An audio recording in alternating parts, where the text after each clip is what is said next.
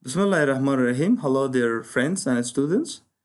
Uh, in this video, uh, we will talk about definition of accounting, uh, objective or functions of accounting, as well as we'll talk about uh, advantage of, of accounting.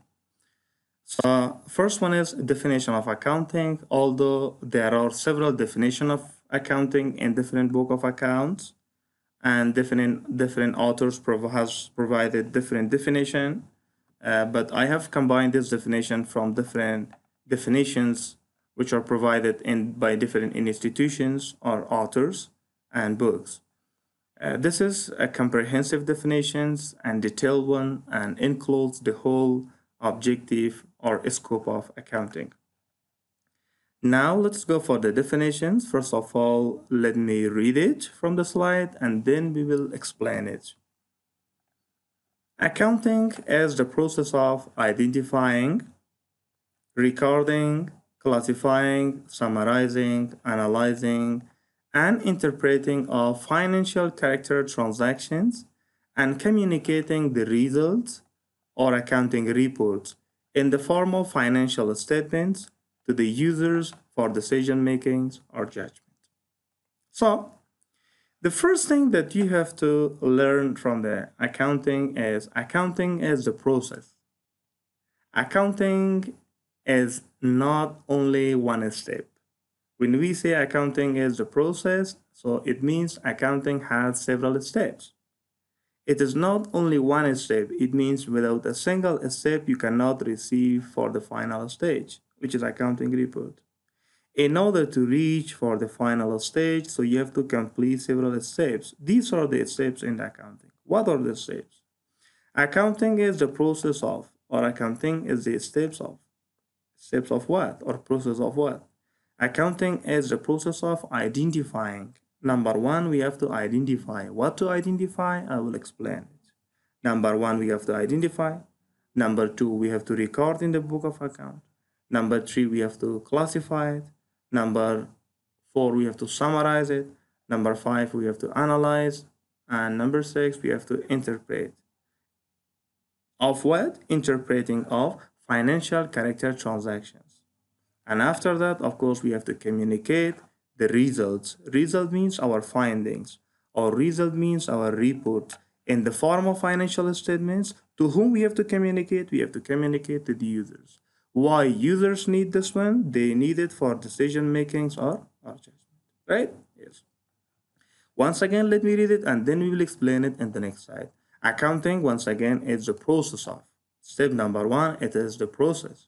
We have to go for identify, then we have to go for recording, then we have to go for classifying, then you have to go for summarizing, then analyzing, then interpreting of financial character transactions. And after that, we have to communicate the reports to the users. For what purpose? For decision making or judgment. Let me explain the definition of accounting in the next slide in a better way. Now, let us say like this. These are the process of accounting. As I said before in the previous slide, in the definition, accounting starts with identifying. Identifying means in this case we have to identify whether the transactions that you want to record in the book of account is a character a financial character transactions or whether the transaction is a non-financial character transactions.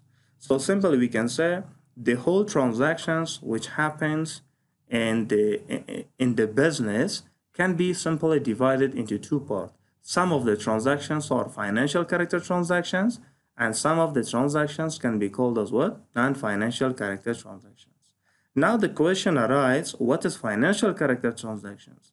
Those transactions which can be expressed in terms of money.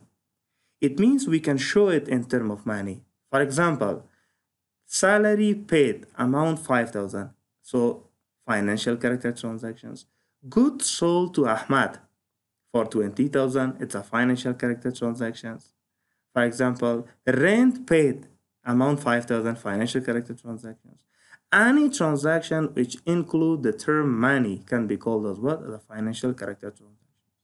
Financial character transactions also can be called as a monetary transactions. Or also we can call it as economic transactions.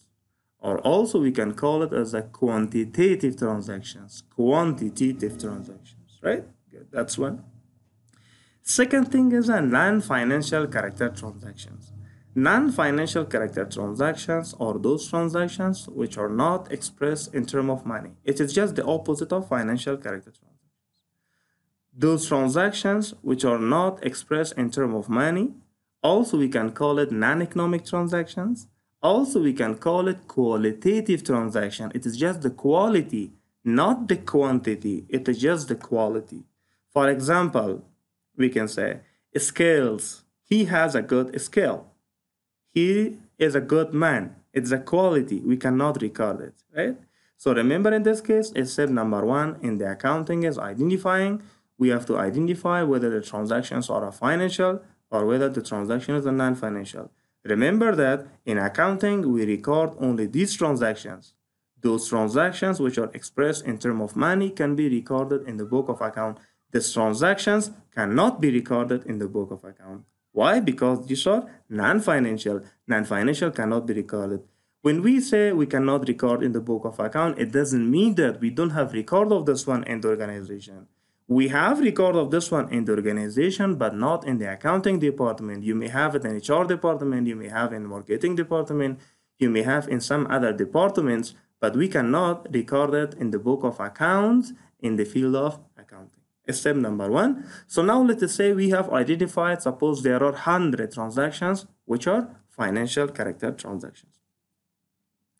After this step, we have to go for the next step of accounting, which is the step of what? Record. Now we understood that out of several transactions, how many of them are financial. So when you got that these transactions are financial and we are able to record in the book of account, then start recording. Start recording by date wise. For example, this transaction happened on January, record on January. This one happened on February, record on February. This one happened on March, record on March. January, March, April, January, February, March, April, May, June, July, April, December, right? So by days wise recorded, not only month, even days also important. Suppose this is on 1st January, 2nd January, 3rd January, 4th January, February, and so on. So record the transaction in the book of account by date wise, right? So suppose uh, we have, in this case, nine transactions, XYZ, XYZ, XYZ. It depends on the nature of the business and depends on the size of the business. Depends on the size of the business, you may have millions and millions transactions during the year. So all of them should be recorded in the book of account and for this purpose, you may have a bigger book or if you don't have a bigger book, then you may have a proper software. So you record all of them in a software, right? So step number two is just recording. How you record it how you can record in the book of account, of course, we will talk later on during the semester, but for the time being, just record in the book of account, right? And also remember that we said XYZ. XYZ can be anything. XYZ, for example, can be commission. This can be salary of employees. This can be food expenses. This can be account of Ahmad. This can be account of Mahmoud. This can be bank account. This can be tax to the Minister of Finance. This can be penalties. This can be anything, right? So as a as a simplicity or in order to sim simplify, so we have just mentioned X, Y, Z. So record the transaction in the book of account in this way. After a step of recording, the next step is a step of classifying. See guys, let us assume that you have a bigger book and size of your organization is also, for example, large. Suppose you have million transactions. Out of this million transactions, suppose 100 of them or belong to Ahmad. And suppose, uh, for example, 200 of them is belong to Mahmoud and 300 of them all belong to Ali and so on. If transaction regarding Ahmad, suppose one transaction is in page one of your notebook the next transaction is in page 20. The next transaction is in page 100. The next transaction is in page 5000, for example, and so on. If this is so, one transaction is recorded on one page, next transaction is recorded another page, next transaction is recorded another page.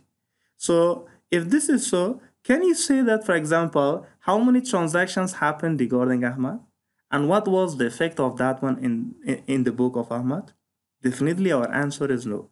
So in order to be able, for example, how many transactions happened regarding Ahmad, how many transactions regarding happened regarding Mahmoud, and what was the effect of those transactions for Ahmad, and what was the effect of those transactions for Mahmoud, and so on. The next step of accounting, or we have to go for the next step of accounting, which is the step of what? Classifying. In this step, we group it. This step also can be called the step of grouping. We group it. All those transactions which are belong to X, we record together. All those transactions which are belong to Y, we record together. All those transactions which are belong to Z, we record it together. Unless to record the transaction in one place, you cannot finalize it. Unless the whole transaction regarding Y are together recorded together, we cannot finalize regarding Y. What happened regarding Y? For example, let us say a simple example. Suppose X excess account of Ahmad. Today, Ahmad deposit to the bank. Tomorrow, Ahmad withdraw from the bank. Deposit to the bank, withdraw from the bank. Deposit to the bank, withdraw from the bank. Deposit to the bank, withdraw from the bank. During the year, 100 times he made deposit and also made withdraw unless to record it all together, definitely you cannot finalize or you cannot get the final result. Or let me give a simple example. For example, you find out a bundle of currencies, right? In this bundle of currency, it is mix of euro, mix of pound, dollar, Afghani, and so on. It is totally mixed. Unless you classify it properly, can you find out, for example, how much is the value of all this currency? Definitely answer is no. Why? Because it is totally mixed. So how can we find out the value? The value can be find out that all dollars are recorded separately, all euros are recorded separately, then all Afghanis are recorded separately, and all of them are to be collected separately. And after that, we can find out, for example, how much is the value of all Afghani, how much is the value of all, for example, rupees, and how much is the value of all dollars, and so on. Then you can find out how much is the overall value. A step of classifying is basically in this way, right? So this was the step of what classifying. First, we have identified, then we recorded in the book of account, then we summarize group 1x, group 2y, and group 3z, right? After this step, the next step is a step of summarizing. Now we have to summarize the transactions. Suppose these three transactions are regarding x. X1 suppose might be a positive transaction. X2 might be negative transactions. X3 might be positive. The same case with the Y might be positive, negative, positive, negative, positive, and negative. Right? So let us say that for example, transaction X is a positive transaction, transaction X1 is a positive, X2 is negative, and X3 is also positive. Let us say for example these two are positive, only one negative, the summary might be a positive. Regarding y also, this is positive, negative, and negative. Summary might be negative. Regarding z also, this is positive, positive, one negative. The summary might be negative, right? In this stage, we use the term positive and negative. Why? Because it is only the introductory class. But later on, instead of positive and negative, we use the term debits and credit. For the time being, assume that as debit, assume this one as a positive or negative, right? So later on, of course, uh, when we explain what is debit and credit, then we will use the term debit and credit.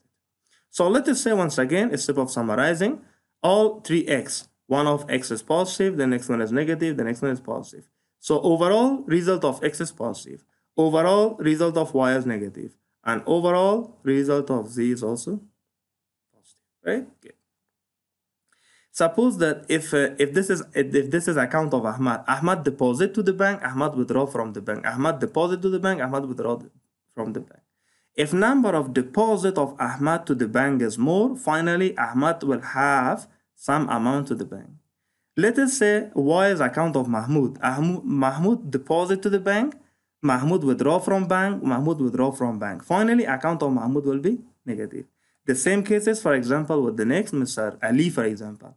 Ali deposit to the bank, deposit to the bank, deposit to the bank, uh, withdraw from the bank. To deposit, one withdraw, let us assume that amount of deposit and withdraw is the same. Finally, Mahmoud or Ali also will have some amount to the bank. So this is called what? A step of summarizing. After a step of summarizing, the next step is a step of analyzing and interpreting. Here we explain that why the summary is positive or why the summary is negative, right? So here, after finding the positive and negative, here we explain that, oh, yes, so x is positive, why x was positive? Suppose, for example, y is negative, why y is negative? z is positive, right? So why z is positive. So now let's take a, another simple example and instead of x, y, z, put some figures here, right? And find out the result. Once again, a step of identifying. We know what is a step of identifying. After identifying, for example, let us uh, say instead of x, y, z, we have taken some other accounts. A step of recording. Suppose transaction was regarding rent. We recorded rent transaction. Transaction was regarding commission, we record that one. Transaction regarding bank account. Again, rent account, commission account, bank account.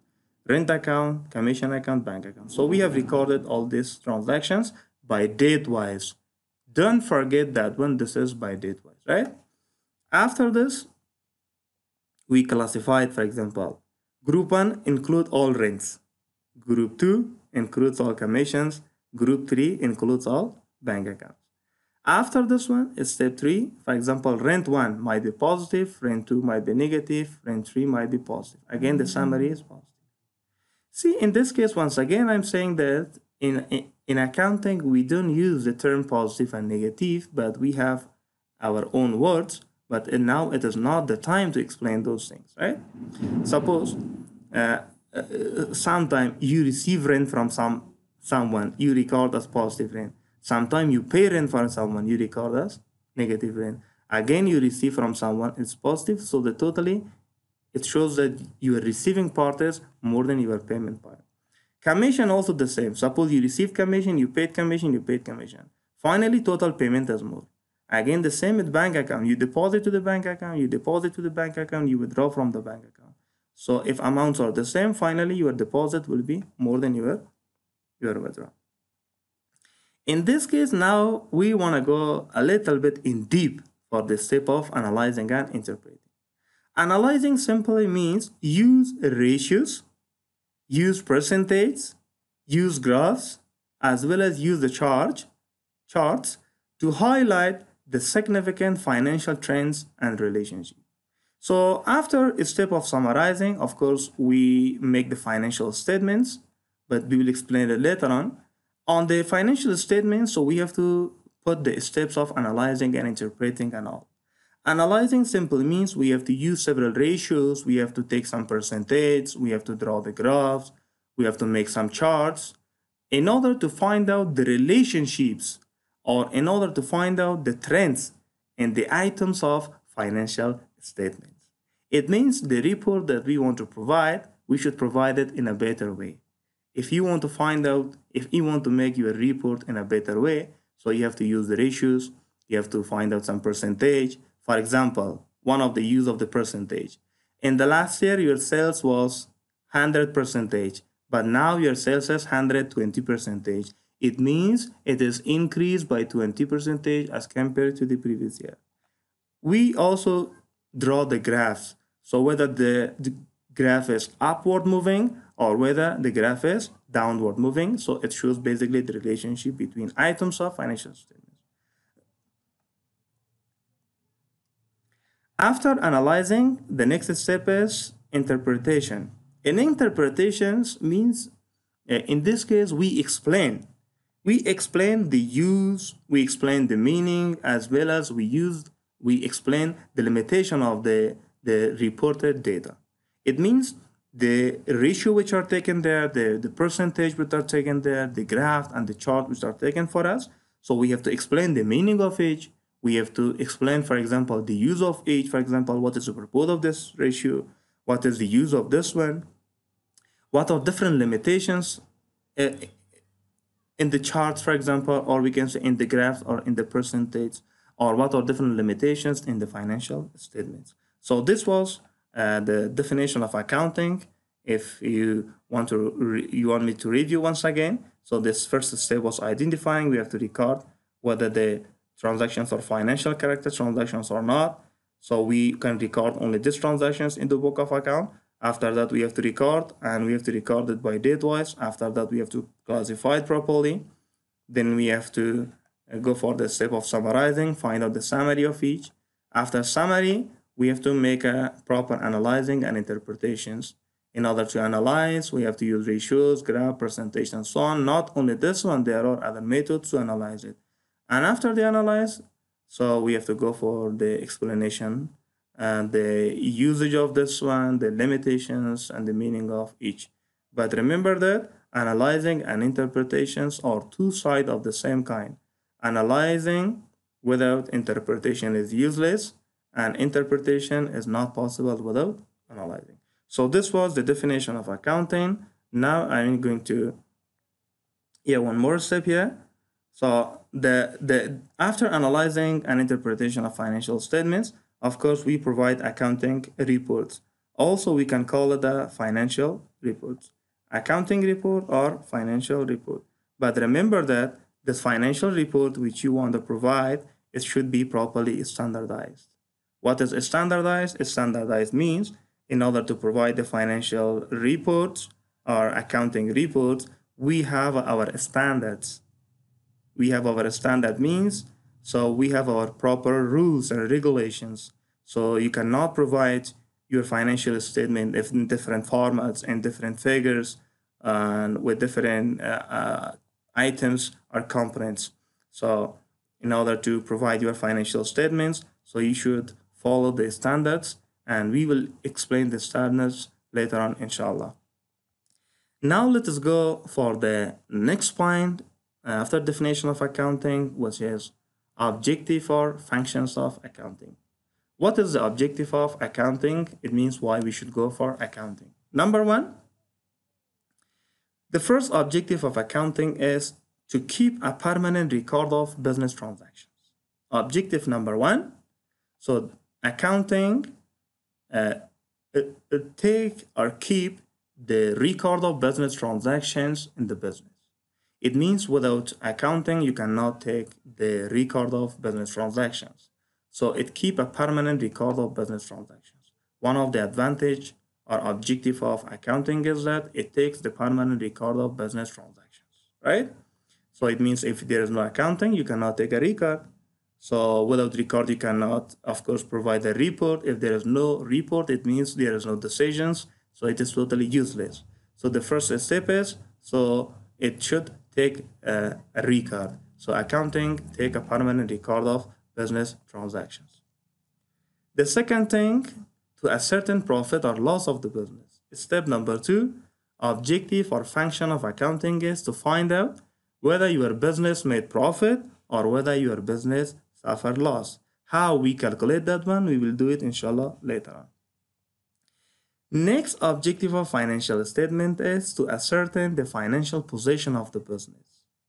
Next step is financial position. What is financial position? For this one also will go in the second chapter. But for the time being, financial statements or financial position simply means so it shows that how much asset we have in the business and how much liability we have in the business. Asset means darai and liability means quruz whether our assets are equal to our liability or not. And it should be equal. If it is equal it is fine. Otherwise it means there's a problem with the business. So number three. Number four objective of accounting is to control expenditure of the business. Expenditure means of course masarif. So it control the expenses of the business right? Through this one we can control or we can put some pressures on different uh, organization units in order to reduce the expenditure or expenses. Next one is, fifth one, to calculate the amount due and the amount, okay, to calculate the amount due to and due from others. Due to means, for example, we have to calculate that how much we have to pay for the others. For example, you purchased a machine from Ali and you promised to pay in the future. So accounting show that, for example, how much you have to pay to Ali. Or for example, you sold a machine to Mr. Mahmoud, right? and Mr. Mahmoud promised you to pay you in the future. So how much you should receive from that one? How much you should pay for the others and how much you should receive from others is included in the objective of accounting. Number five, number six, to ascertain the cost of production as well as selling price. It is through the accounting we can find out, for example, how much is the cost of the particular product and how much is supposed selling price. Let us assume that we want to produce a marker. Suppose we have a manufacturing company and we want to produce marker. Marker, simple marker. And in this case, we find out how much is the cost of each marker. Let us assume that we calculate and we found that the cost of each marker is, for example, $2, right? And on that one, we had some profit and we found the selling price. So simply we can say through the accounting, we find out, for example, how much is the cost and how much we should sell it in the market. Even suppose if it is not a manufacturing company. So how much we purchased a particular product and how much we should sell it in the market in order to cover the cost as well as in order to make some profitability for the business. This is the objective of accounting. The next one is to provide information for decision making. Yes, Without accounting information, you cannot make a suitable decision in the business. Any sort of decisions that you want to make in the business, it needs information. Especially, of course, accounting information. Doesn't matter who you are, who are you, it depends, of course, on the on the your partnership with the business that who are you, but still if you're the owner of the business, if you're the investors, if you're the employee that we will study later on, it depends, but still you need accounting information. Let us assume that, for example, you're the manager of the business. If you're the manager of the business, of course, you need accounting information for day-to-day business decisions. Business decision means different decision. For example, decision might be regarding investment decision might be for example regarding purchase regarding for example selling of a particular product and so on. Any sort of decisions that you need you need informations and informations can be provided through accounting. So these are the objective of accounting. Number eight to satisfy the requirement of law Accounting records not only require because of our decisions or because of this purpose which we mentioned. Accounting is required also as per the law. As per the law, for example, as per the company law, as per the tax law, as per the banking law, and so on, it depends on your business. As per the law, you need to provide a report to show that whether your business is going well or not, right? Whether your business as, for example, suitable for the society or not, and, and so on. If once again we go back with the objective of accounting, it takes a permanent record of the business, it shows the profitability of the business, it shows the financial position of the business that we will explain both of these later on. It put control on expenditure. It shows that how much we have to pay to others and how much we have to receive from others. It also find out the cost of our product. It also tell us, for example, how much we have to sell in the market. It helps us for decision makings and also it satisfies the legal requirement of the business.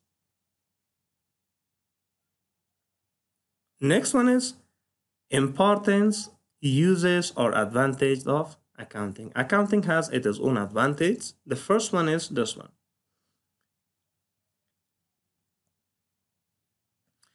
The first one is uh, this one.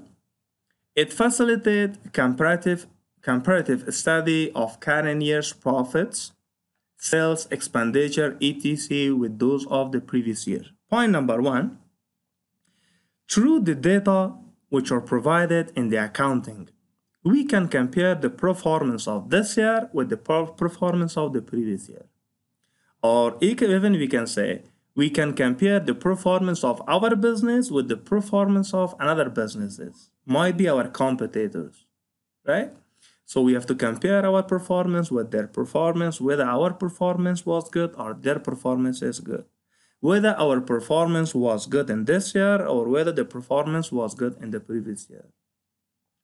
You can compare profit, you can compare sales, you can compare expenditure, you can compare anything. This is one of the advantage of accounting. The next advantage of accounting is it helps to forecast the future. Forecast simple means, for example, uh, we estimate the future, right? One of the advantage of accounting is that we need to forecast the future. We need to, for example, expect the future, make some expectation for the future, right? How much will be, for example, our profit in the future? Or how will be our performance in the future? And of course, later on you will see that we forecast the future of the business based on the past performance. The data which is provided in this year for us, and of course, uh, uh, this data which is provided right now for me, it shows the performance of the business in the last year. So based on the last year performance of the business, we can forecast the future of the business. Why this is so? Because usually future somehow depends on the past it there is a trend basically between the past as well as between the future. So anything happen in the past may happen in the future as well if there is no some exceptional cases. In most of the case when we analyze the future of the business we check the past record of the business.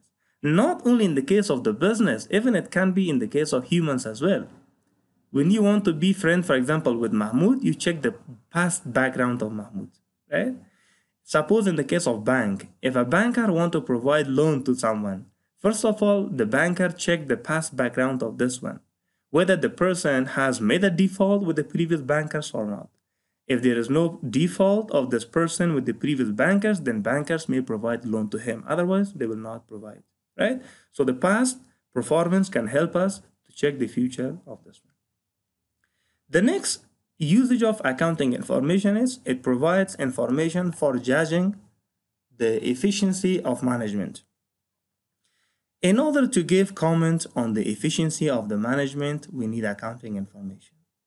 We need to check that whether the, our management team was efficient in their performance in the last year or not, whether the management was effective or not, whether they achieved the goal of the business in the last year or not, accounting information is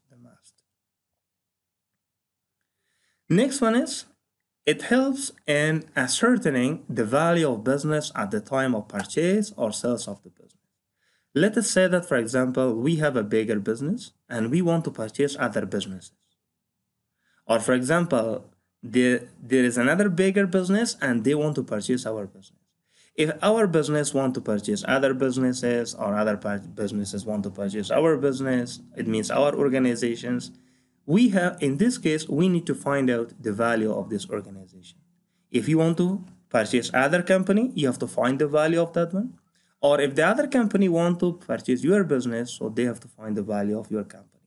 Value of your company can be found out through the accounting information. Without that it's not possible. The next advantage is it is a good proof it's a good proof in the court of law regarding the transaction of the business. It's a proof of course, this is very important for us. The record of accounting in the book of accounts basically can be used as a proof, can be considered as a evidence, can be considered as a testimony in the court, right? For example, at the end of the year, we show that, for example, our business made only one lakh profit. But the court may say, for example, no, you made two lakh profit if they want if they say 2 lakh profit and we show only 1 lakh profit in this case we need to go for the book of account and show and check the books or the documents that how much profit we made during the year so it is just the evidence or it's the, the proof. So the book of account can be considered as a proof as well. Next one. It is useful in getting loan as i said in the case of uh, this one. So even accounting information is useful in the, in the case of getting loan. Of course, it is in the case of organization, not in the case of persons. Even it can be in the case of persons as well, but usually it is in the case of organization. Suppose our organization, suppose Kardan University, want to take some loan from Azizi Bank. Unless Kardan University provide accounting information to Azizi Bank, Azizi Bank will not provide a dollar of loan. Why? Because they need to check that, for example, if we provide loan to Kardan University, whether Kardan will be able to repay this loan back or not, whether the Kardan University has enough security for us or not. So that is why they need to check accounting information to satisfy their needs. The next one, it is useful to employees to demand for more wage if the business is profitable. Even accounting information is useful for the employees as well. If the employees find out that there is a good profitability in the business, why we should not enjoy from this profit? So in that case, they may demand for their supervisors, they may demand, they may ask their, for example, uh, we can say bosses to please increase our salary, please increase our benefits as well. Why? Because the organization make huge amount of profit and this huge profit is of course because of the effort of these employees. And finally, if there is no profit for these people, so what is uh, what is the, the advantage for the employees? Definitely they will get dismotivated. So in order to have more profit for these people, there should be uh, some sort of uh, compensation for the employees as well to have some benefit from the business. The next one is it helps in prevention and detection of error and fraud. The next one, accounting prevent as well as detect errors and fraud from the business. What is error and fraud? So of course we will talk later on, but for the time being, so prevention of error or detection of error and fraud is possible through the accounting. Why? Because we have rules and regulations and through those rules and regulations, we can prevent errors and fraud from the accounting. Last one is, it helps in complying with the certain legal formalities like filing of income tax and sales tax and so on. Of course, for the filing of income tax and so on, accounting information is the must.